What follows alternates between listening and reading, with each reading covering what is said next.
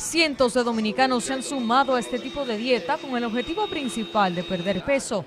Más del 75% de los alimentos en una dieta ketogénica son altos en proteína y grasas y solo un 25% compuesto por carbohidratos. Entre los que más se consumen se encuentran quesos, huevos, carnes de todo tipo, pescado y aguacate. Entonces lo que sucede es que en el cuerpo, al no consumir suficiente glucosa, se empieza a consumir energía a través de las grasas y se producen estos cuerpos cetónicos.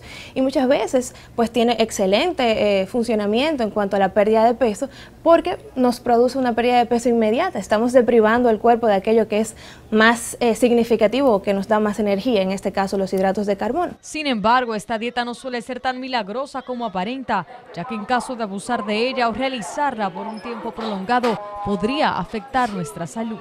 Las principales consecuencias de una dieta cetogénica destaca la esteatosis hepática o lo que le llamamos hígado graso, la producción de cálculos renales, ¿verdad? Por la eliminación de calcio a través de la orina, por la gran ingesta de grasas y proteínas. Entonces, de alguna forma, no creo que estos beneficios en la pérdida de peso, pues realmente superen los efectos secundarios, considerando que la enfermedad cardiovascular es la principal causa de muerte. Además, especialistas indican que los resultados de pérdida de peso para el que sigue este tipo de de dieta no serán sostenibles a largo plazo. No contamos con ninguna evidencia científica después de dos años. O sea, no tenemos ninguna data que nos hable de cuál es el beneficio de una dieta como esta a largo plazo.